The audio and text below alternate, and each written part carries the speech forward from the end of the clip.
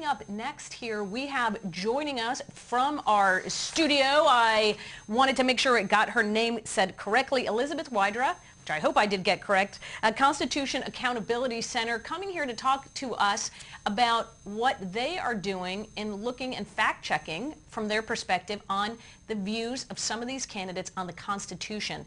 Um, Elizabeth, let's just start off and, and talk a little bit about this issue. You say in your uh, your mission statement that what you guys are about is looking at the progressive underpinnings of the Constitution, that, that conservatives have basically taken over the interpretation of the Constitution. Can you give us some examples of this and some examples where you think that folks who consider themselves progressives are able to push back?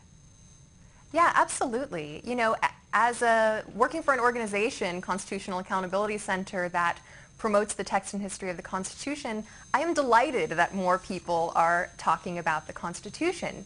But the problem is that a lot of the people talking about the Constitution, Tea Partiers and their allies uh, out on the campaign trail, are simply getting the Constitution wrong.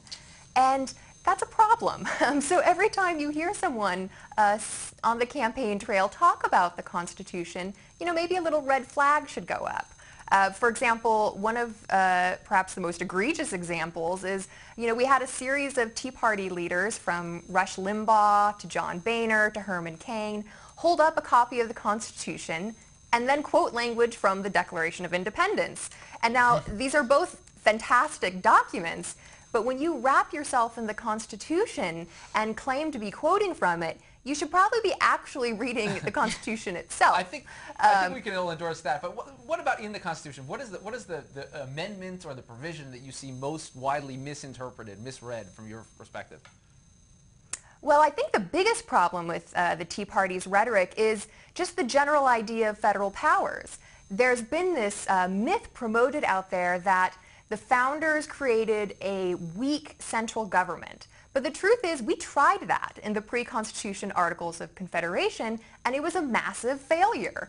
Um, George Washington even suggested that the lack of a sufficiently energetic federal government nearly cost Americans victory in the Revolutionary War. The fact is that if you just read the preamble of the Constitution, you see that we the people came together to form a more perfect union, more perfect than that weak central government of the Articles of Confederation, which so many conservatives are nostalgic for, and instead created a strong union that could do things like promote the general welfare, provide for the common defense, and secure the blessings of liberty.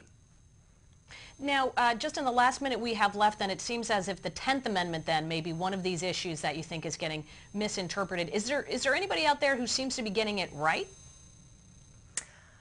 hmm, it's hard to find someone who's claiming okay. to be a constitutional conservative who's getting it right. I mean, one thing that I find really disturbing um, in all of this 10th Amendment nullification, secessionist talk that's been going out there is that a lot of people also want to uh, scrap many constitutional amendments, which are what actually make our Constitution the great document that it is today. And the founders that was part of their genius, was to put this amendment process in. And that's really, you know, if you support the Constitution, support the whole right. Constitution. All right, All right. Elizabeth Wydra from the, from the Constitutional Accountability Center. We appreciate it. For the left trying to take the Constitution back. All there right. we go.